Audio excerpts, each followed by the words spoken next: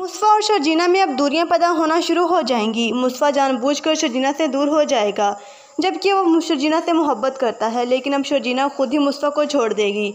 उधर अदील, रुबाब को लगता है कि वो शर्जीना से मुलाकातें कर रहा है और शर्जीना उसे छीन लेगी, इसीलिए उनके घर में आकर बैठ गई और वो अदील उसी के दोस्त से अफेयर चलाएगा। जब ये बात रुबाब को पता चलेगी तो रुबाब शदील को उसके अपने घर से निकाल देगी, जबकि उधर मुस्तफ़ा और शर्जीना के दरमियान अलीहदगी होने तक बात पहुँच जाएगी।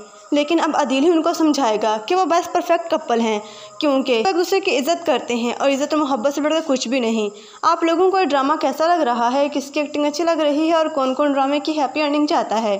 कमेंट करके अपनी कीमती राय से लाजमी आगाह कीजिएगा। मजीद ड्रामा रिव्यूज़ के लिए चैनल को सब्सक्राइब कर लें और साथ में मुझे बेलाइकन को दबा लीजिए, ताकि हमारे चैनल पर चलने वाली हर अपडेट का नोटिफिकेशन आपको बर वक्त मिलता रहे।